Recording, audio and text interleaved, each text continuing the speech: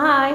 അപ്പോൾ ഇന്ന് നമ്മൾ വന്നിരിക്കുന്നത് കിച്ചൺ ടിപ്പായിട്ടൊന്നും അല്ല വേറൊരു ചിക്കന്റെ വിഭവമായിട്ടാണ്. ചിക്കൻ അങ്ങനെ വരട്ടി നന്നായിട്ട് പെരട്ടി എടുക്കാന്നാണ് പറയുന്നത് നമ്മൾ കുറേ ടൈപ്പിലുള്ള റെസിപ്പീസ് കണ്ടിട്ടുണ്ട് അല്ലേ? അപ്പോൾ ഞാൻ ഇന്ന് അതിൽ നിന്നൊക്കെ വ്യത്യസ്തമായിട്ട് അങ്ങനെ നമുക്ക് ഈ ചിക്കൻ പെരട്ടിയത് എടുക്കാന്നാണ് ഏഹ്, പറയാൻ പോകുന്നത്. അപ്പോൾ നമുക്ക് ഒട്ടും താമസിപ്പിക്കേണ്ട വേഗം തന്നെ അത് ചെയ്തു തുടങ്ങാം. അതിനായിട്ട് നല്ല ചുവട് കട്ടിയുള്ളൊരു പാത്രം എടുക്കുക. അതിനകത്തോട്ട് മൂന്ന് ടേബിൾ സ്പൂൺ വെളിച്ചെണ്ണ. വെളിച്ചെണ്ണയാണ് കേട്ടോ ടേസ്റ്റ് വേറെ എണ്ണകൾ ഉപയോഗിക്കരുത്. അതായത് ഒലിവ് ഓയിൽ സൺഫ്ലവർ ഓയിൽ ഒന്നും ഉപയോഗിക്കരുത്. നല്ല ശുദ്ധമായ വെളിച്ചെണ്ണയെ തന്നെ ഉപയോഗിക്കാൻ ശ്രമിക്കുക. അപ്പോൾ വെളിച്ചെണ്ണ നന്നായിട്ട് ചൂടാകുമ്പം അര ടീസ്പൂൺ കടുക് ഒരു നുള്ളു ജീരകം. അപ്പോൾ കടുകും ജീരകമൊക്കെ നന്നായിട്ട് പൊട്ടി വന്നിട്ടുണ്ട്. ഇനി നമുക്കിനകത്തോട്ട് ഒന്നര ടേബിൾ സ്പൂൺ വെളുത്തുള്ളി ചതച്ചെടുത്തത്. പേസ്റ്റ് ഉപയോഗിക്കരുത്. എന്ന് വെച്ചാൽ നമ്മൾ ചതയ്ക്കുന്നതിനും പേസ്റ്റിനും രണ്ടും രണ്ട് ടേസ്റ്റ് കിട്ടും. അതുകൊണ്ട് ഒരു ഫ്ലേവർ കിട്ടും. അപ്പോൾ അതുകൊണ്ട് ചതച്ച് മാത്രം ഇടണം. ഇനി അര ടീസ്പൂൺ ഇഞ്ചി ചതച്ചത്. ആവശ്യത്തിന് കറിവേപ്പില. ഏഴ് പച്ചമുളക് ചെറുതായിട്ട് കട്ട് ചെയ്തത്. ഇനി ഇത് നന്നായിട്ട് ഇളകി കൊടുക്കണേ. അതായത് നമ്മുടെ വെളുത്തുള്ളി ഇഞ്ചിയൊക്കെ ഒന്ന് മൂത്ത് വരണം. അപ്പോൾ ഇത് കണ്ടില്ലേ നന്നായിട്ട് മൂത്ത് വന്നിട്ടുണ്ട്. ഒരുപാടങ്ങ് ബ്രൗ കറുത്ത് പോകരുത് ഒരുപാടങ്ങ് ഡാർക്ക് ബ്രൗൺ ആവരുത് കേട്ടോ. അപ്പോൾ ഇത്രയും മതി. മൂന്ന് കപ്പ് ചെറിയ ഉള്ളി. നീളത്തിലരിഞ്ഞതാണ് ഒരു തക്കാളി. നല്ല പഴുത്ത തക്കാളി എടുക്കണേ. പത്ത് പച്ചമുളക് രണ്ടായിട്ട് കീറിയത്. ഇനി ആവശ്യത്തിന് ഉപ്പ്.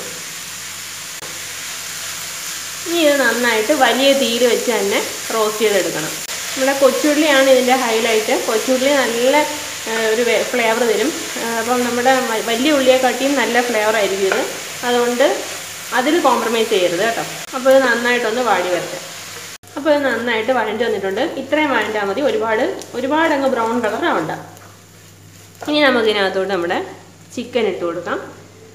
ഒന്നേകാൽ കിലോ ചിക്കൻ. നന്നായിട്ട് കഴുകി ഊറ്റി പിഴിഞ്ഞെടുത്താണ് നന്നായിട്ട് ഇളക്കി കൊടുക്കണം. പെട്ടെന്ന് വെന്ത് കിട്ടിക്കോളും. അതുകൊണ്ട് കുഴപ്പമില്ല. ചെറിയ പീസായിട്ട് വേണം കട്ട് ചെയ്യാനായിട്ട്. ബോൺലെസ് പീസ് എടുക്കുക. ബോൺലെസ് പീസാണ് നമ്മുടെ വരട്ടിയതിനൊക്കെ നല്ലത്. അതുകൊണ്ട് പറഞ്ഞതേ ഉള്ളൂ. അതെല്ലാം എല്ലുള്ളതാണെങ്കിൽ കുഴപ്പമൊന്നുമില്ല. എന്നാലും. ഇനി എന്താണെന്ന് വെച്ചാൽ ഫ്ലെയിം അങ്ങ് ഹൈ ആയി കൊടുക്കുക. എന്നിട്ട് അടച്ചു വെച്ച് നമുക്ക് വേവിച്ചെടുക്കാം. വെള്ളം നമ്മൾ ഒട്ടും ഒഴിക്കേണ്ട. ചിക്കനിൽ നിന്നുള്ള വെള്ളം ഇറങ്ങി വന്ന് അത് വെന്ത് വന്നോളൂ. പുരട്ടിയെടുക്കാനായതുകൊണ്ട് പ്രത്യേകിച്ചും. കണ്ടില്ലേ ഇത് നന്നായിട്ട് തിളച്ച് വന്ന് തുടങ്ങിയിട്ടുണ്ട്. അപ്പോൾ ഒന്നുകൂടെ ഒന്ന് ഇളക്കി കൊടുത്തിട്ട് അടച്ച് വെച്ച് മീഡിയം ടു ലോ ഫ്ലെയിമിൽ നമുക്കിത് വേവിച്ചെടുക്കാം. അപ്പോൾ അത് നന്നായിട്ട് വെന്ത് വരട്ടെ. അത് വെന്ത് വരുന്ന നേരം കൊണ്ട് നമ്മുടെ ഈ ചിക്കൻ വരട്ടിയതിന്റെ മെയിൻ ഇൻഗ്രീഡിയന്റ് മെയിൻ സാധനം നമുക്ക് ചെയ്തെടുക്കാം. അപ്പോൾ നേരെ അതിലേക്ക് പോവാം. ചിക്കൻ പുരട്ടിയതിന്റെ നമ്മുടെ വെറൈറ്റി എന്ന് പറയുന്നത് ഇപ്പോൾ ചെയ്യാൻ പോകുന്നതാണ്. അപ്പോൾ അതിനായിട്ട് വലിയൊരു പാൻ എടുക്കുക. ഒന്നര കപ്പ് തേങ്ങ. പത്ത് വെളുത്തുള്ളി ഒന്ന് ചെറുതായിട്ടൊന്ന് അരിഞ്ഞത്. അഞ്ച് കൊച്ചുള്ളി അതും ചെറുതായിട്ടൊന്ന് അരിഞ്ഞേക്കണം. നമ്മളിവിടെ മസാല പൊടിയായിട്ടല്ല ഉപയോഗിക്കുന്നത്. ഇങ്ങനെ മുഴുവനായിട്ട് ഇട്ട് കൊടുത്തിട്ട് പിന്നെ നമ്മൾ പൊടിച്ചെടുക്കുക ചെയ്യുന്നത്. അപ്പോൾ ഇവിടെ എടുത്തിരിക്കുന്നത് ഒന്നര ടീസ്പൂൺ പെരിഞ്ചീരകം അഞ്ച് ഏലക്ക കുറച്ച് പട്ട. കുറച്ച് പട്ട എന്ന് വെച്ചാൽ ഒരുപാട് ഇടരുത്. ഒരുപാട് പട്ട ഒരുപാട് ഇട്ട് കഴിഞ്ഞാൽ വേറെ വല്ലാത്തൊരു ടേസ്റ്റ് വരും. അതുകൊണ്ട് അത് കൂടുതൽ ഇടരുത്. ഇത്രയും മതിയാവും. ഒരു നാലഞ്ച് കഷ്ണം. ഒരു ചെറിയ പീസാണ് കഷ്ണമായിട്ടില്ല. പിന്നെ പൂവിന്റെ നാലതൾ ഗ്രാമ്പൂ ഒരു ആറെണ്ണം. ഇതങ്ങ് നമുക്ക് ഇതിനകത്തോട്ട് ഇട്ട് കൊടുക്കാം. കുരുമുളക് ഒരു ടീസ്പൂൺ കശകശ അത് കാൽ ടീസ്പൂൺ ആവശ്യത്തിന് കറിവേപ്പില. ഇനി പാൻ ചൂടായിട്ട് വരുന്നവരെ ഹൈ ഫ്ലെയിമിലിട്ട് നന്നായിട്ട് റോസ്റ്റ് ചെയ്തെടുക്കണം. എപ്പോഴും ശ്രദ്ധിക്കണം. അടിയിൽ പിടിക്കരുത്. അത് പിടിച്ചു കഴിഞ്ഞാൽ നമ്മളുടെ ഈ കറിയുടെ ടേസ്റ്റ് അങ്ങ് മാറിപ്പോവേ.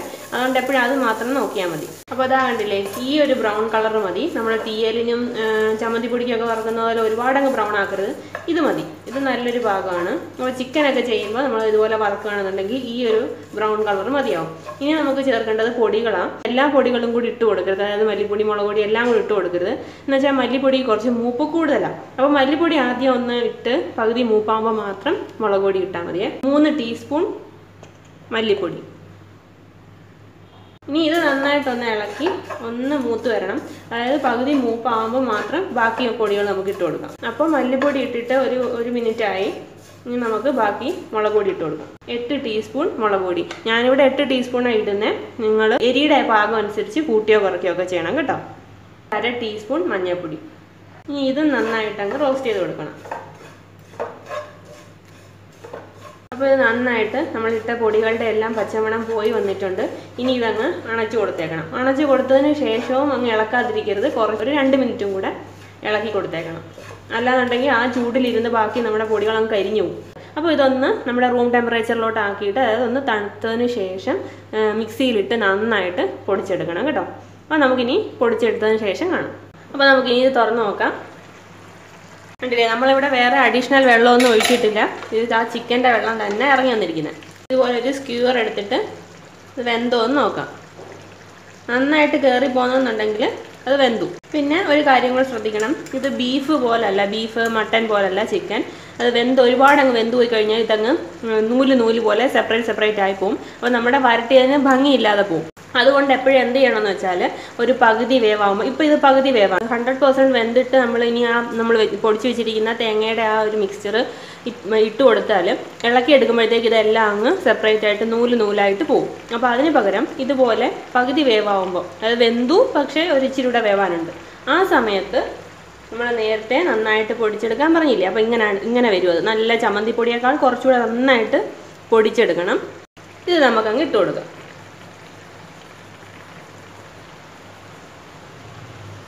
ഇനി ഇത് ചെറിയ ഫ്ലെയിമിലാക്കിക്കൊണ്ട് നന്നായിട്ട് ഇളക്കി യോജിപ്പിച്ച് കൊടുക്കുക.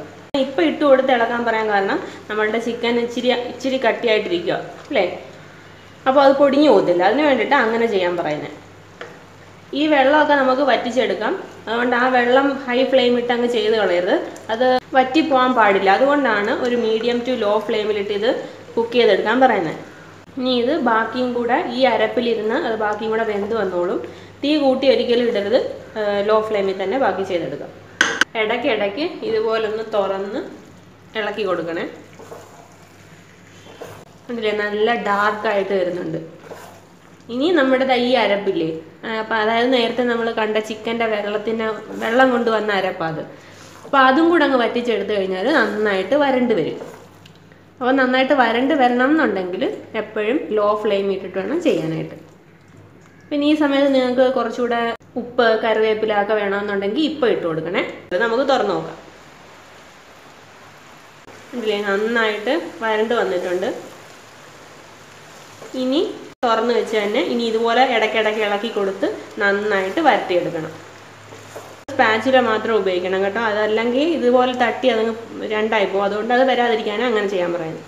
ഇനി നിങ്ങൾക്ക് ഇഷ്ടമാണെന്നുണ്ടെങ്കിൽ കുറച്ച് മല്ലിയില. സാധാരണ വരട്ടിയതിനൊന്നും മല്ലിയില ചേർക്കത്തില്ല. കറിവേപ്പില തന്നെ. അപ്പോൾ എനിക്ക് മല്ലിയില ഇഷ്ടമായതുകൊണ്ട് ഞാൻ ചേർത്തന്നേ ഉള്ളൂ. അത് വേണമെന്നില്ല നമുക്ക് അവോയ്ഡ് ചെയ്യാം. ഇളക്കി കൊടുത്ത് ഇളക്കി കൊടുത്ത് ഇത് വരട്ടിയെടുക്കണം. പെട്ടെന്ന് ആയി കിട്ടും. ചിക്കൻ വരട്ടിയത് നന്നായിട്ട് വരണ്ട് വന്നിട്ടുണ്ട്. ആ അരപ്പിന്റെ അതായത് ചിക്കന്റെ വെള്ളമെല്ലാം വറ്റി നല്ല നല്ല രുചിയായിട്ട് കിട്ടിയിട്ടുണ്ട്. അപ്പോൾ ഇപ്പം ഞാൻ ഉപ്പ് നോക്കി. എന്റെ ഉപ്പൊക്കെ പാകമാണ്. അപ്പോൾ നിങ്ങൾ ഈ സമയത്ത് ഉപ്പ് എരിയൊക്കെ നോക്കുക. എരി അഥവാ നിങ്ങൾക്ക് കുറവാണെന്നുണ്ടെങ്കിൽ കുരുമുളകിന്റെ ഫ്ലേവർ ഇഷ്ടമുള്ളവർക്ക് ഇട്ട് കൊടുക്കാമേ. എനിക്ക് കുരുമുളകിന്റെ ഫ്ലേവർ ഇപ്പം വേണ്ട. എരിയൊക്കെ നന്നായിട്ടുണ്ട്. അതുകൊണ്ട് ഞാൻ ഇടുന്നില്ല. ഉപ്പ് വേണമെങ്കിൽ നോക്കിയിട്ട് ഇടുക. അപ്പോൾ ഇനി നമുക്ക് ഫ്ലെയിം അങ്ങ് ഓഫ് ചെയ്ത് കൊടുക്കാം. ഇനി ഈ ചൂടത്തിരുന്ന് തന്നെ അത് ഇച്ചിരി ഡ്രൈ ആയിട്ട് കിട്ടിക്കോളും. ഈ ചൂട് പാനിൽ തന്നെ. ചോറിന്റെ കൂടെ അപ്പം പുട്ട് ദോശ എല്ലാത്തിന്റെ കൂടെ നന്നായിട്ട് പോകും. നിങ്ങൾ ഇത് എന്തുവായാലും ട്രൈ ചെയ്ത് നോക്കണം. നമ്മൾ സാധാ ഉണ്ടാക്കുന്ന ചിക്കൻ വരട്ടിയതിൽ നിന്ന് കുറച്ചെങ്കിലും വ്യത്യസ്തത ഉണ്ടെന്ന് ഞാൻ വിശ്വസിക്കുന്നു. അപ്പം നിങ്ങൾക്കും അത് ഇഷ്ടമാവുമെന്നാണ് എന്റെ വിശ്വാസം. അപ്പം വീഡിയോ നിങ്ങൾ കാണുക ലൈക്ക് ചെയ്യുക ഇഷ്ടമാവുകയെന്നുണ്ടെങ്കിൽ ഇഷ്ടമല്ല എന്നുണ്ടെങ്കിൽ ഡിസ്ലൈക്ക് ചെയ്യുക കമന്റ് ചെയ്യുക. നിങ്ങൾ ചാനൽ ആദ്യമായിട്ടാണ് കാണുന്നതെന്നുണ്ടെങ്കിൽ ചാനൽ സബ്സ്ക്രൈബ് ചെയ്യാൻ ഒരിക്കലും മറക്കരുത്. ജി ത്രീസ് കിച്ചൺ എഴുതിയിരിക്കുന്നതിന്റെ തൊട്ടടുത്തായിട്ടൊരു റെഡ് ബട്ടൺ ഉണ്ട് സബ്സ്ക്രൈബ് ബട്ടൺ അത് ക്ലിക്ക് ചെയ്യുക. അപ്പോൾ നിങ്ങൾക്കൊരു ബെല്ലൈക്കൺ കാണാൻ പറ്റും. അതും കൂടെ ക്ലിക്ക് ചെയ്താൽ മാത്രമേ ഞാൻ എപ്പം വീഡിയോ ഇട്ടാലും നിങ്ങൾക്ക് അതിന്റെ നോട്ടിഫിക്കേഷൻ കിട്ടത്തുള്ളൂ. അപ്പോൾ നമുക്ക് പുതിയൊരു ഡിഷുമായിട്ട് ഇതുപോലുള്ള നല്ല വെറൈറ്റി ഡിഷുകളായിട്ട് കാണുന്നത് വരെ ബായ് ടേക്ക് കെയർ